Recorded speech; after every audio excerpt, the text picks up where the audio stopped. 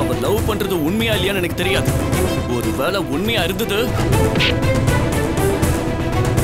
இந்த வீட்டு வாசப்படி மிதிக்க கூடாது போடி!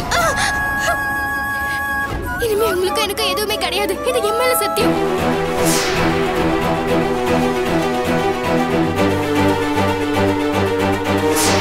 அவ சமாதானமாகறதுக்கு வாய்ப்பே இல்லைங்க. நம்ம பொண்ணை இங்கேயே கூட்டிட்டு வந்துட்டோம்னா ஒரு மாதிரி பேசி பிரபாகருக்கே கட்டி வச்சிடலாங்க.